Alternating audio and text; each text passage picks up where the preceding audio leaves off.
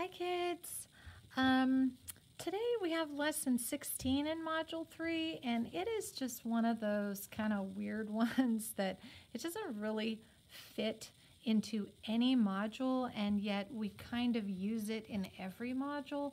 So it just happens to be here, lesson 16.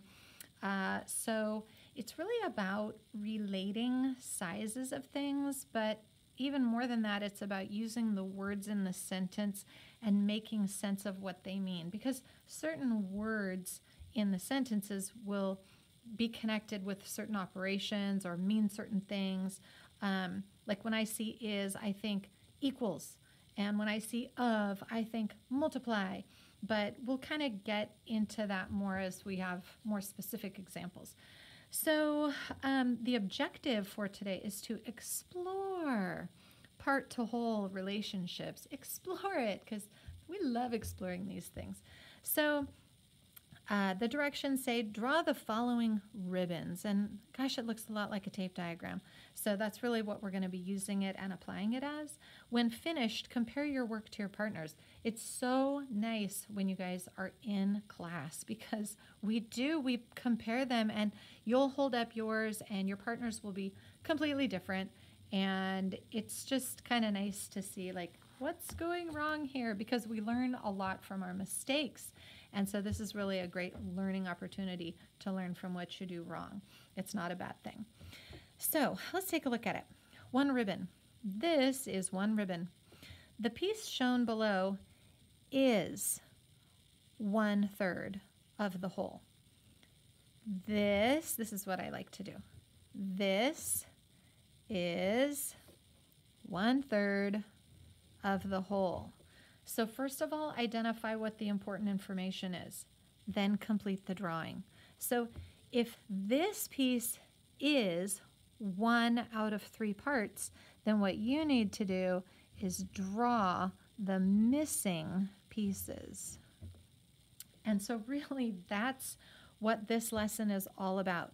If this is one third, then I need another third and I need another third in order to make the three thirds, which makes one. So that's all it is, okay? So use the language to complete these ribbons. One ribbon right here. But this time, the piece shown below is, this piece is four fifths of the whole. So now this is four pieces. So now I'm going to divide within this ribbon. And what I'm missing is the fifth piece. So right here, now this is what your ribbon should look like. Four out of five. It's like saying this is four fifths, this is five fifths, which means one. Okay? Easy peasy, right? I totally get this. This is fun. Now, on this one, they don't give us any pictures, and we are going to draw the two ribbons. We're going to label them A and B, but they give us some um, words and things that we have to associate with each other. So one third of A. Okay, so one third of A is equal to all of B. Ooh, okay. One third of A is equal to all of B. So if I have this part, okay, and this is one third. This is one third, and it's equal to all of B, then what do I have to do for A? I have to extend and draw the second third, and extend and draw the third third. So that when you compare, uh, you have the one third of A is equal to all of B. So your A ribbon should be three times as long as B. Pretty cool. But now we have three ribbons, C, D, and E. C, D, and E. C is half the length of D. E is twice as long as D. So we have these comparative sizes, and all you have is that C is half and E is double or two times as much as D. So I like to kind of draw D and say, okay, well, C is half of D.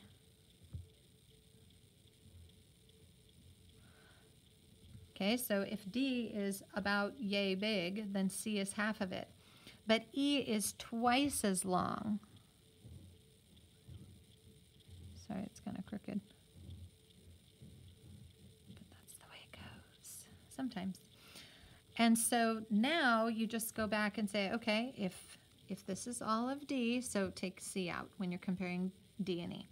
E is twice as long as D. Yep, here's D. E is twice as long, or times 2. When you're comparing C, C is half of what D is. So you just make these kind of comparative shapes, use the language that they're showing you, and then really just check yourself and try to talk through it. The homework is very similar uh, to this. Okay, half of Robert's piece of wire is equal to two-thirds of Maria's wire half of his wire is equal to two out of three pieces of Maria's wire. Now we have more information. So we can draw a picture. Don't let the rest of it throw you. The total length of their wires is 10 feet, which we'll put off to the side, and we don't have to measure or account for that when we draw the wires. How much longer is Robert's wire than Maria's? And I remember when I first did these problems, and I was like, what? I don't get it. And we had to talk about it with all the teachers because it's like, do they want an exact answer? Do they want it in fraction form? So let's start drawing, and I'll show you the answer in a minute, and then you can see what I'm talking about. So half of Robert's piece of wire is equal to two-thirds. So if, let's just say I've got Robert and Maria, and half of his wire, okay, is equal to 2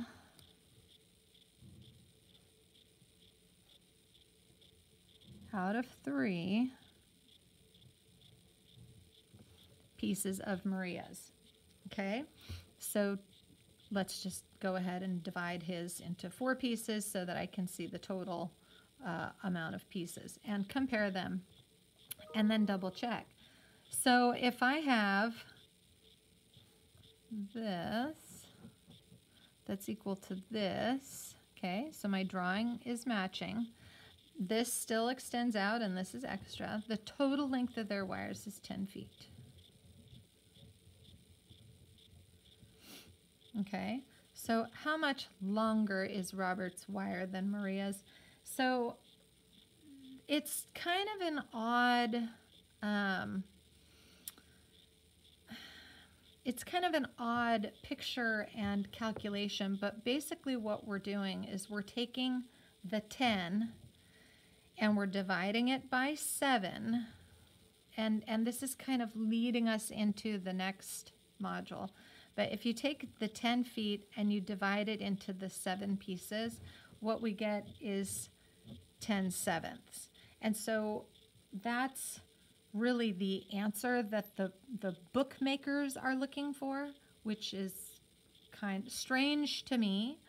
Um, and so then we can solve this because remember, every one of these fractions is a division problem. And so 10 divided by 7 would be 7 fitting into 10 one whole time with 3 left over. And so it's 1 and 3 sevenths feet. Um, so Robert's wire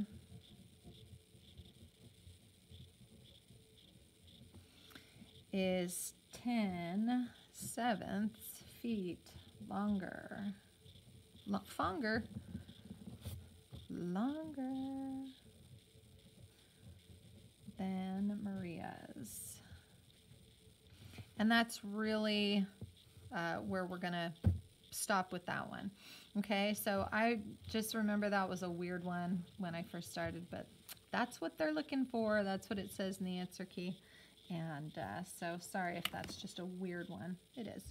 But let's go on to half of Sarah's wire. Next problem is equal to 2 fifths of Daniel's. And now we have Chris, a third person, has three times as much as Sarah. In all, their wire measures six feet. How long is Sarah's wire in feet? So let's again, we've got uh, Sarah, Daniel, and Chris. Put some initials.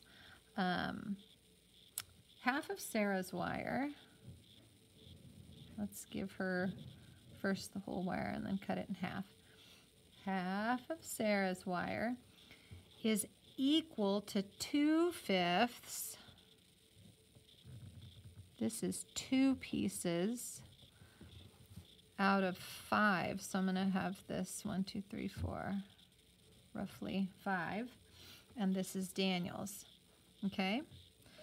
And then Chris has three times as much as Sarah. Uh-oh, I don't have much room. But let's make Sarah's one. And then we'll go approximately the same size. And then approximately the same size. So that if I was to look at how Daniel's is broken up into fifths, and then I look at Sarah's and I break hers up into fourths, and then we have this piece right here of Chris, this would also be broken up as would each of these. And this is going to be one of those key components of having a tape diagram so that you can compare everything. Because when we have our total measurement in all, this is six feet. What becomes vital, and this is why when I was even starting, um, you know, as a teacher trying to figure this out, I'm like, what? They don't give us enough information. These problems are so stupid. These people who wrote the problems, they just hate children. They hate, they hate us. Oh, it was terrible. And then I finally figured it out. It's like, oh, well, you have to use the tape diagram because the tape diagram is filling in the missing piece. And so, uh, really, it's going to be the six feet that we're dividing into the all the numbers of pieces. So it's four here and five 6, 7, 8, 9, 10, 11, 12, 13, 14, 15, 16, 17. And did I count right? 4, 8, 12.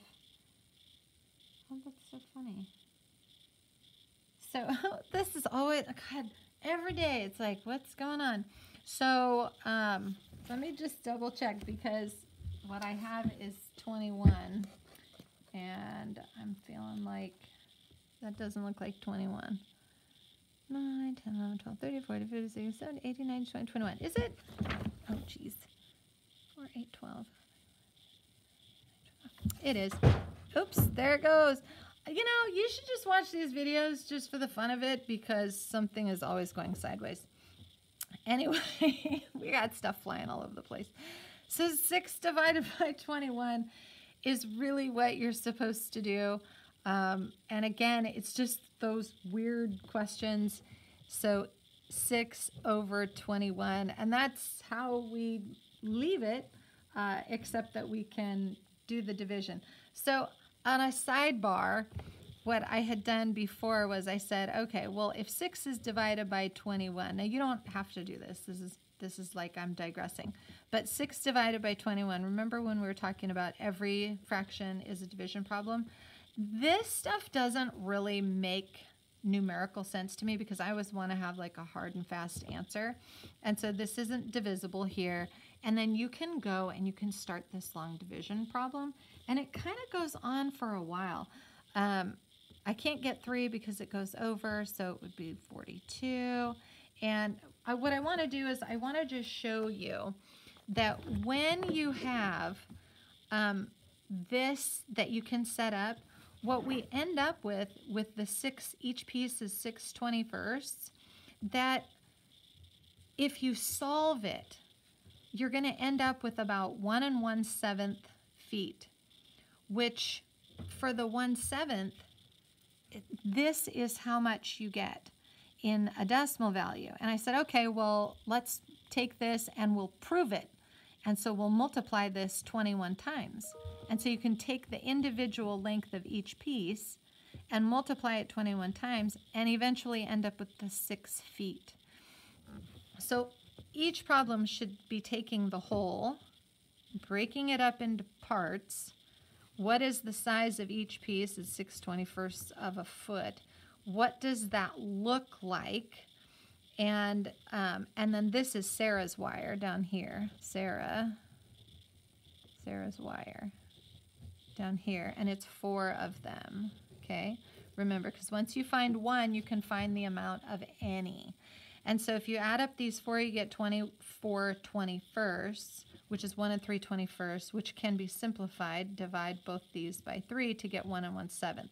And that's what I'm talking about. Like, well, what, you know, what does this mean? And wouldn't you rather have an exact amount? You can do all that. Ugh. I sometimes I still don't love these problems, but anyway, there it is. There's our super fun math lesson for the day, lesson 16. um, I hope this was a fun one for you. It was super fun for me. And uh, if it was, click subscribe, and I'll see you on the next one. We'll see what else can go wrong. Oh, look, it's only 16 minutes. Have a great day. Bye.